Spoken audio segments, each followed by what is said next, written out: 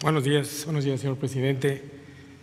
señoras secretarias, secretarios, directores, subsecretarios, compañeros gobernadores, jefa de gobierno,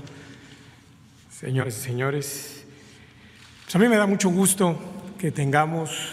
un plan, me parece que es sumamente importante y necesario el tener un plan operativo que desde el gobierno federal se genere y que tenga, por supuesto, todos los esquemas de tipo científico que se deben de tener para poder salir adelante y avanzar y que se darán seguramente en base a estos semáforos de los cuales se habla en el mismo. Estoy seguro que los estados debemos verificar cada uno de los niveles de riesgo, nadie mejor que los gobiernos locales para conocer y saber lo que está pasando en cada una de nuestras regiones, de nuestros pueblos, de nuestras ciudades y que nos permita entonces, en ese esquema de coordinación, el poder tomar las mejores decisiones que nos permitan regresar a eh, la productividad y a retomar de nuevo la economía. Me parece que será necesario durante varios días el ir resolviendo muchas de las dudas que se irán generando a través de la propia presentación del mismo, que estaremos requiriendo seguramente protocolos de acción para cada una de las diferentes actividades, de tiempos, de momentos, eh, y que seguramente se verá todavía mucho más fortalecido y mejorado en base precisamente a estos eh, conceptos que seguramente se darán a lo largo de estos días. En Quintana Roo estamos claros que requerimos un retorno gradual y con mucho cuidado, pero también es muy necesario y les digo por qué. Eh, hemos perdido cerca de 80 mil empleos o poco más de 80 mil empleos en el Estado, que representan casi el 22% de, de todos los empleos que el Estado tenía y aun cuando hemos tenido un plan de unidad desde el punto de vista empresarial para poder mantener la mayor cantidad de ellos, prácticamente ha sido imposible el poder llegar a todos estos. Al día de hoy llegamos a casi 8 millones de asientos de avión cancelados en lo que va del 10 de marzo para acá. Y esto pues evidentemente nos obliga a pensar en una reapertura como decía hace un momento, que tiene que ser gradual y cuidada, lo más pronto posible, pero por supuesto basados en, eh, en primera instancia en un plan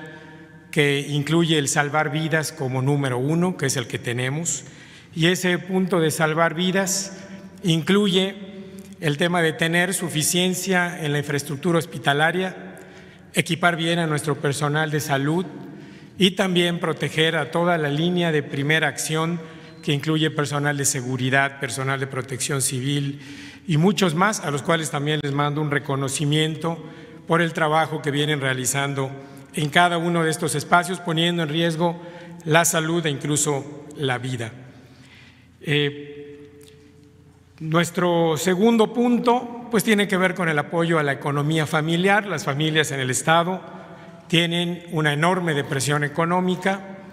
tienen muchísimas carencias y por ello hemos trabajado con ellos en cinco puntos eh, muy importantes para poder salir adelante, que es el apoyo en agua potable, apoyo en energía eléctrica, apoyo en alimentos, apoyo en gas y apoyo también en esquemas de salud para llevar medicamentos inclusive a casas. Esto ha sido fundamental para poder avanzar y salir adelante y soportar estos días que han sido muy, pues muy complicados y duros para el Estado y por supuesto para todo el país. En Quintana Roo tenemos 1.144 casos positivos desde el 13 de marzo que se dio el primero, pero tenemos menos de 300 casos activos y esto se debe en mucho al respeto y al cumplimiento de las diferentes medidas de prevención que se han dado, el incremento de las medidas de, higiene, las medidas en cuanto a distanciamiento social, en cuanto a aislamiento, en cuanto a quedarse en casa, que ha sido de mucho respeto de mucha disciplina y que por supuesto también merecen una, eh, un reconocimiento a esta situación que ha permitido precisamente que hoy tengamos menos de 200 personas hospitalizadas y que nos permite tener suficiencia en esa infraestructura hospitalaria y que nos ha permitido llegar muy rápido también a la parte más alta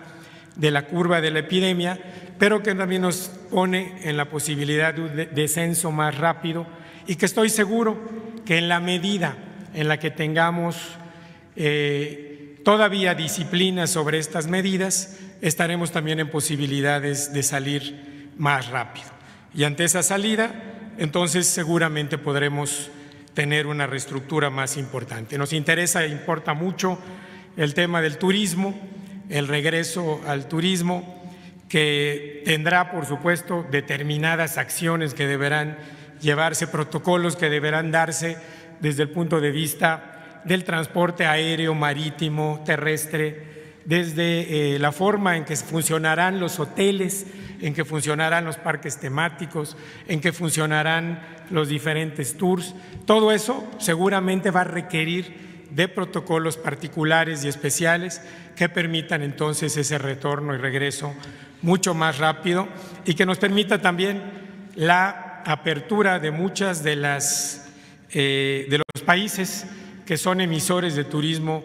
hacia México, principalmente hacia la zona de Cancún y Riviera Maya, y que también nos permita tener esa posibilidad de empezar a recibirlos con todas las medidas que esto debe de tener. Por eso nos da mucho gusto que este plan se lleve a cabo y por supuesto que estaremos muy pendientes para trabajar en coordinación con él. Muchas gracias.